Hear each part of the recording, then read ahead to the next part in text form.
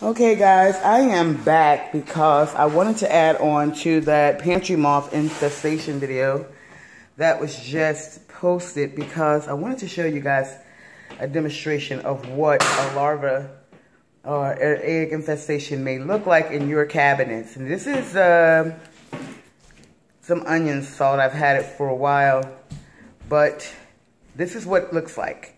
So you'll open your spices or your grains and you'll see clumps. Clumps that don't break when you shake them. These are the webbing or like the silk thread that the larva has when it's uh, metamorphosizing in your food. And this is the food source that it uses. So this is what it looks like. And then the process, I don't know if you can see this, but this is some Old Bay seasoning that we use on the regular. And there is moths in it. And you see how the Old Bay is sticking to the sides? Well, that's not supposed to happen, right? So we know that the larva was here and it hatched here and it's got lumps and it's got clumps that don't break upon shaking. You can see that.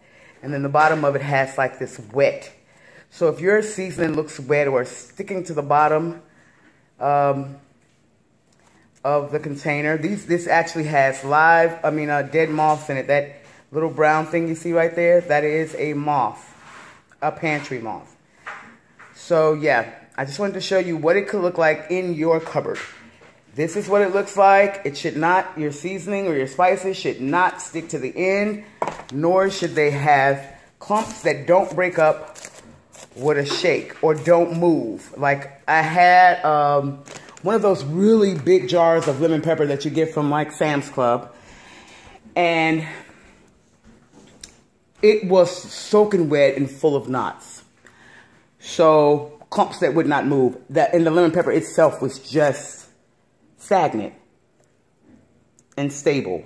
And it's a powder. So it shouldn't move, nor should it accumulate uh, unbreakable clumps or clumps that would be hard to break. Uh, this is all larva of the infestation. So thank you guys. I just wanted to show you what that would look like in case you were wondering what a moth infestation looks like and what it can do to your cupboard.